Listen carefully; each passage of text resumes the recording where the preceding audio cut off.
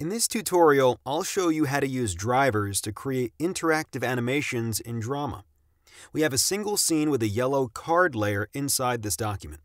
This layer contains a slider with a knob, a text layer to indicate temperature, and a snowflake icon. Let me show how to add a very simple interaction to this scene. First, I'll select the card layer, which currently has no behavior as indicated in the inspector. I'll change that to draggable X and Y, so that when I launch the simulator, the layer can be dragged around. Just like this. And when I change behavior to draggable X, I can still drag the card layer around, but only along the X-axis.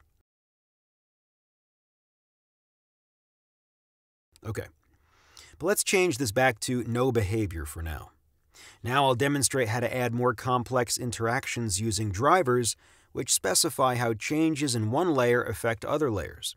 You can do this by accessing the driver editor by clicking on the Edit Drivers button. And here's the driver editor, which is currently empty because we have no drivers. You could add a new driver by clicking here, but I'll show you another way. When you change the behavior of the card layer back to draggable X, a new driver will be added automatically. Let's talk about what a driver actually is. When you drag this layer along the x-axis in the simulator, you're changing its left attribute here. After making a layer draggable, you often want to use the layer's position as a driver. That's why after we made the layer draggable along the x-axis, the left attribute was automatically added as a driver for our convenience. This purple capsule here is the driver itself, which is the left attribute of the layer named card. And the value of this driver is currently 200 which is the same value that you can see in the inspector for the left attribute. Grab this value and move it around, and you'll notice that it always remains in sync with the value in the inspector.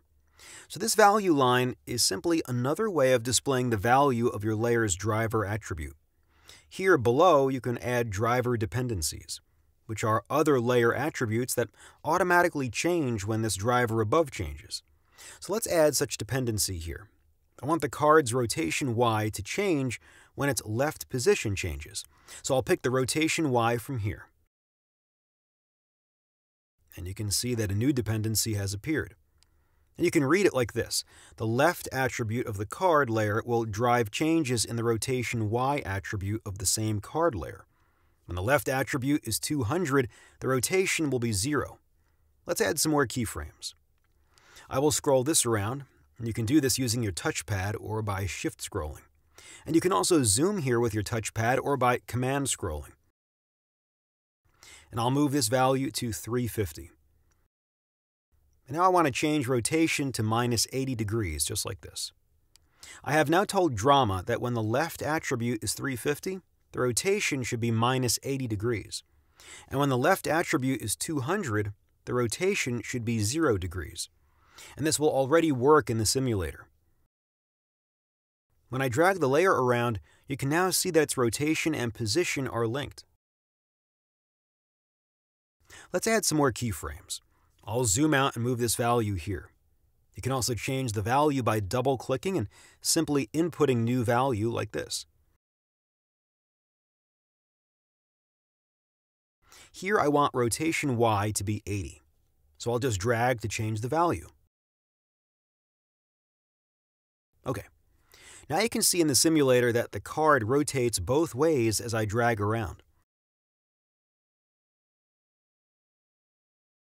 Let's move the card back to the center so it's easier to work with.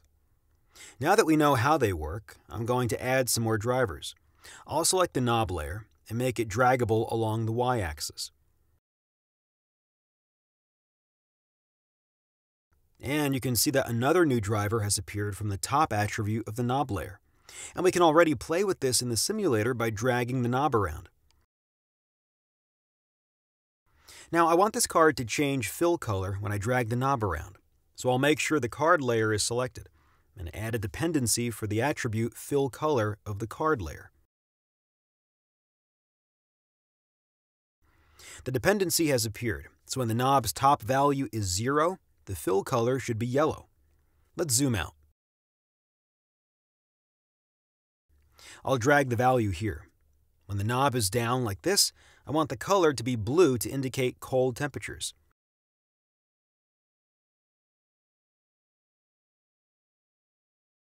You can also add more keyframes by double-clicking, like this. And if I double-click the keyframe now, I can change the color right here. I'll change it to red. When I play with the simulator now, you can see that as I drag the knob, the card changes color from blue through red to yellow, like this. So again, when the knob position is 200, the color should be blue. And when the knob position is around 100, red. And when the knob position is 0, yellow. Now, I would also like this text changes to reflect the knob's position and indicate temperature, so I'll select that and add another dependent attribute for text. The text attribute of the temperature layer will therefore depend on the knob top driver. So when the knob is at the top, the temperature will show 50 degrees. And when at the bottom, minus 20 degrees, like this. Finally, as I only want the snowflake to appear at freezing, let's change the temperature to around zero. I'd like to add a new dependency for the opacity tribute, which should be zero so the snowflake is not visible. And here, somewhere, snowflake opacity should be 100%.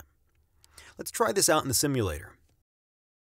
As I drag the knob around, the display temperature changes, and the snowflake icon appears only in freezing temperatures.